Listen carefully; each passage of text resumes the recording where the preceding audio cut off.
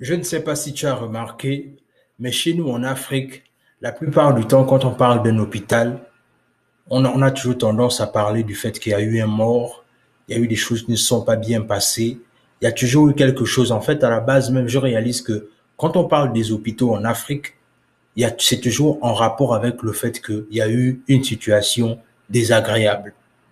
Mais il faut bien comprendre une chose, c'est que tout ceci a un but derrière cela, en fait. Parce que, vois-tu, il y a deux formes de marketing. Il y a le marketing qui sert à vanter les mérites de quelque chose ou d'un produit ou d'une société.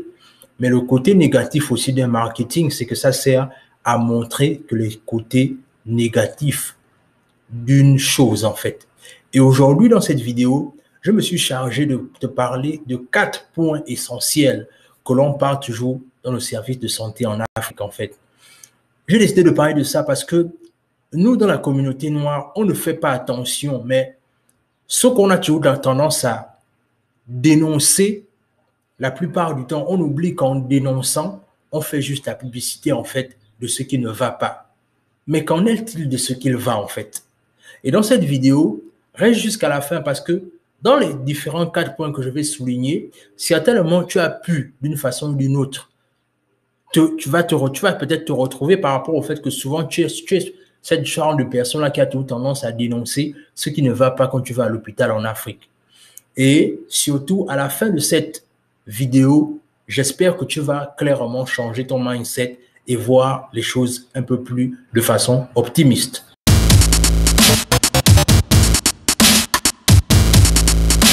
Hey, salut, moi c'est Warren et bienvenue sur ma chaîne Guerrier Mental.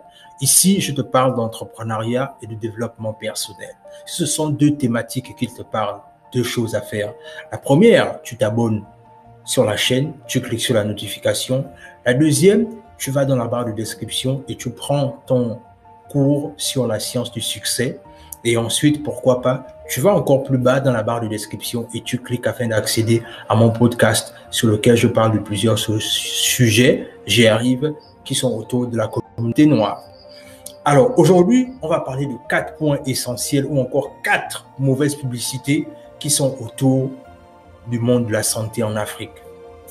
Pourquoi j'ai décidé de parler de ça? Parce que je reste convaincu d'une chose, c'est que on ne réalise pas, mais nous qui sommes nés en Afrique, il faut à un moment donné qu'on soit reconnaissant par rapport au fait que oui, en Afrique, il y a des problèmes, mais la plupart du temps, si on fait si on se focalise plus sur les problèmes, en fait, on ne verra que les problèmes, on ne pourra pas trouver les solutions.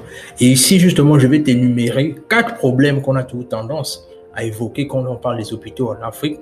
Et comprends une chose, c'est que cette vidéo, c'est la suite, c'est le début d'une série de vidéos que je vais faire comme ça là sur la santé en Afrique, afin que quelque part, puisqu'actuellement on est dans le monde, on est dans cette crise sanitaire, mais il faut aussi comprendre qu'il y a aussi les bons côtés de la santé en Afrique.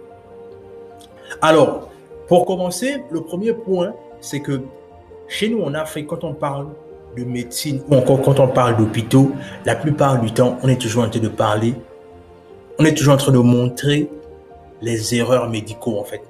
Je ne sais pas si tu as remarqué, mais la plupart du temps, même quand tu te, quand tu te balades dans les réseaux sociaux, la plupart du temps, quand on parle d'un hôpital, que ce soit au Gabon, que ce soit au, Congo, que ce soit au Cameroun, etc., la plupart du temps, quand on parle d'un hôpital, c'est qu'il y a eu des erreurs médicaux, en fait.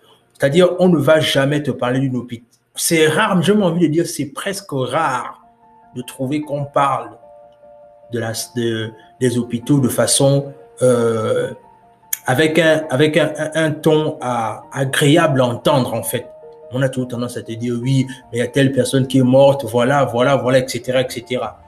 Mais ce que les gens ne comprennent pas, et là je vais être plus clair, il y a une émission qu'on appelle Baby Boom qui passe dans les réseaux, je crois en France, quelque chose comme ça, si j'ai bonne mémoire.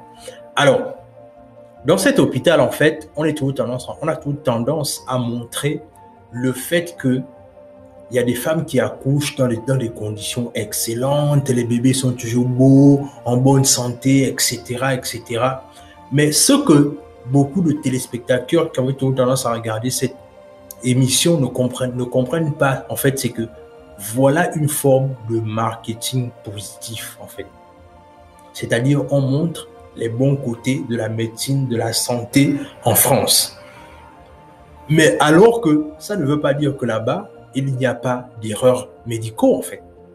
Mais le but de la démarche de ce genre d'émission-là, justement, c'est de faire en sorte qu'on met de côté les choses qui ne portent pas, qui n'apportent pas un plus à, à, leur business et les mettre en avant ce qui a, ce qui valorise en fait le business. Et c'est justement ce qu'on doit comprendre. Parce que à force de mettre un accent particulier sur ce qui ne va pas, on ne regarde même plus ce qu'il va en fait. La deuxième chose, c'est que dans les, structures de santé chez nous en Afrique, on a toujours tendance à filmer que les coins salubres en fait. Je ne sais pas si tu as pu regarder dans une... Je ne sais pas pu regarder, mais la plupart du temps, quand on parle de structures de santé chez nous en Afrique, on a toujours tendance à mettre le côté sur des côtés négatifs. C'est sale, c'est pas hygiénique, c'est pas ceci, c'est pas cela. Oui, on a tous les problèmes que vous voulez. Mais vous êtes sûr aussi que Certainement, il n'y a pas eu un endroit aussi là où c'était quand même propre, là où c'était quand même acceptable? Je ne crois pas. Je pense qu'il y a eu des endroits. Mais comme on a été formaté pour simplement regarder le côté là où tout est négatif, on ne prend même plus la peine et l'attention de regarder ce qui est positif en fait.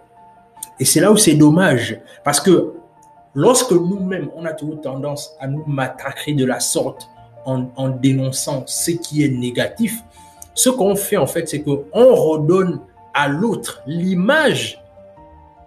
On redonne à l'autre cette image en fait, parce que la plupart du temps, c'est la façon dont tu te présentes à l'autre que l'autre va retenir qui tu es en fait. Mais si on passe du temps à simplement montrer les côtés insalubres de nos hôpitaux, mais qu'en est-il des côtés qui sont propres en fait, qui sont acceptables? Ça, on ne parle pas de ça parce que le problème, c'est de se focaliser sur le problème, en fait. Mais on ne peut pas se focaliser sur la solution. Et c'est ce qui nous retarde toujours dans la communauté noire. Le troisième point, c'est que on a toujours, dans les, structures hospitalières, on a toujours tendance à pointer le taux de mort élevé. Oui, on a toujours tendance à dire que oui, tel ou tel hôpital ne fait pas bien son travail. Oui, il y a tellement de morts. À chaque fois que quelqu'un rentre ici, la personne meurt. Oui, il y a ceci, il y a cela. Certes, mais il faut comprendre une chose, c'est que il y a des morts partout. Mais est-ce que vous vous rendez compte je, vais juste prendre, l'exemple par rapport à la situation dans laquelle on se trouve actuellement. Par rapport au COVID-19, ce qui se passe actuellement, c'est que il y a eu beaucoup, il y a, beaucoup de morts aux États-Unis. Mais est-ce que vous vous rendez compte que, alors que il y a, il y a certainement plus d'hôpitaux qui enregistrent de morts, mais comme les Américains comprennent la force du marketing, ils ne vont pas prendre leur temps pour dénoncer en fait quel est l'hôpital qui enregistre plus de morts en fait. Ils ne vont pas prendre le temps de se focaliser sur l'hôpital qui a plus de morts parce qu'ils savent clairement que ce sera du mauvais marketing. Et nous, justement, en Afrique, c'est ce qu'il faut arrêter, en fait. Il faut arrêter toujours de dénoncer. Certes, il y a des problèmes partout, mais à force de se focaliser encore, comme je disais, sur les problèmes, on perd l'aspect de trouver des solutions. Il y a des erreurs médicales partout, mais il faut qu'on se concentre plus sur les solutions. Le quatrième point, c'est énumérer le manque de matériel. Vous savez, tout le monde peut venir et énumérer le fait que ça ne va pas, X ne va plus, Y ne va pas, ça, ça ne va pas, ça, ça ne va pas.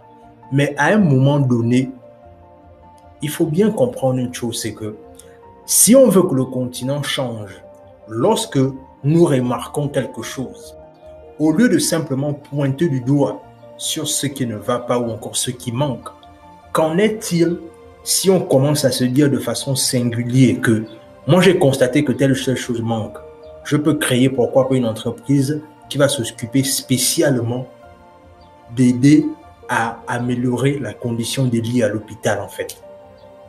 C'est-à-dire, tu regardes un business au niveau de la santé, par exemple, que tu penses que tu peux apporter une solution drastique et ça devient ton business. Mais que de rester là à, pointer le doigt sur le fait que oui, il y a tel, il n'y a pas le matériel, il n'y a pas. Oui, tout ça là, tout. C'est-à-dire que il faut comprendre une chose, c'est que l'Afrique est un continent qui a été longtemps meurtri.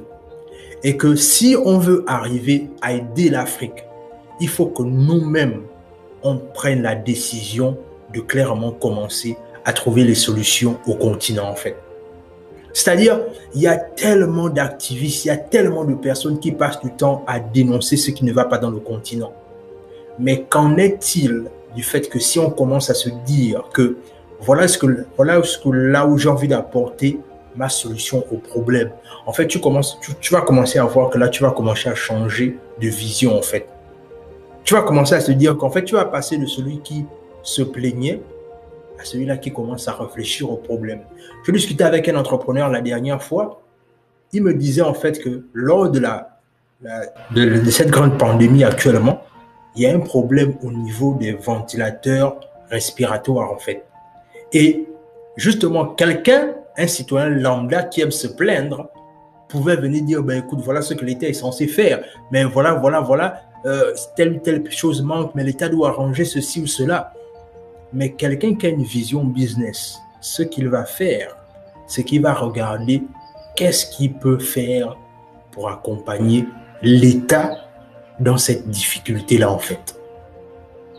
C'est-à-dire qu'il faudrait qu'on arrive à un niveau là où on arrête de se plaindre. Parce qu'arrêter de se plaindre t'aide à trouver des solutions par rapport aux problèmes que tu traverses. Mais si tu passes ton temps à te plaindre, ce qui va se passer, c'est que tu seras obscur. En fait, le fait pour toi de trouver des solutions sera toujours éloigné, en fait. Parce que tu as brillé dans le fait de toujours te plaindre.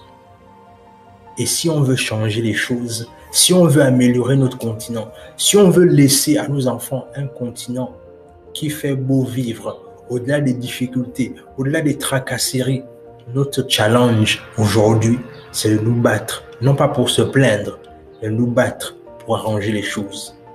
De ces quatre points que j'ai pu énumérer, est-ce qu'il peut arriver que parmi les quatre points-là, tu puisses te retrouver? Dis-le-moi en commentaire afin que toi et moi on puisse discuter parce que vois-tu, le but ici, c'est de t'amener à comprendre le fait qu'à un moment donné, au lieu de toujours se plaindre, trouvons les solutions car le continent a besoin de nous. Partage cette vidéo et surtout mets-nous des likes afin que YouTube puisse arriver toujours à positionner la vidéo et on se dit à la prochaine.